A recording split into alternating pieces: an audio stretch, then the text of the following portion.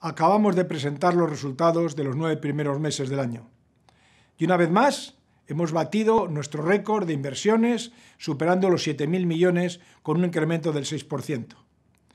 De ellos, 1.600 millones los hemos destinado a España con un incremento de más del 20% y el resto al resto de los mercados, destacando fundamentalmente Estados Unidos, donde han ido 1.900 millones.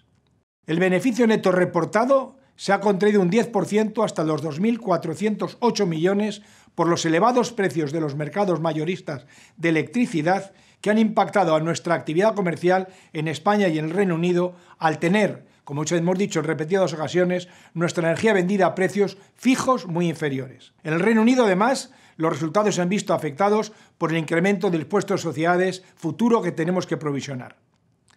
Excluyendo estos impactos, el beneficio neto ajustado ha crecido un 5% hasta los 2.688 millones. El flujo de caja ha aumentado un 7% frente al año pasado hasta los 6.400 millones, lo que junto a nuestros sólidos ratios financieros ha permitido que las agencias de rating mantengan nuestra calificación crediticia.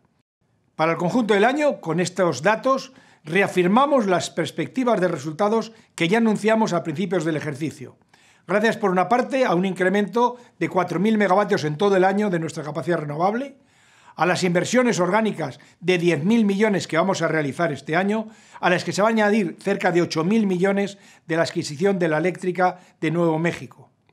Y además espero y confío que seguiremos registrando mejoras operativas y además manteniendo nuestra fortaleza financiera. Por otro lado, después de la compleja situación que hemos vivido los últimos meses, Ayer el Consejo de Ministros aprobó un nuevo Real Decreto Ley clarificando la aplicación del publicado en septiembre.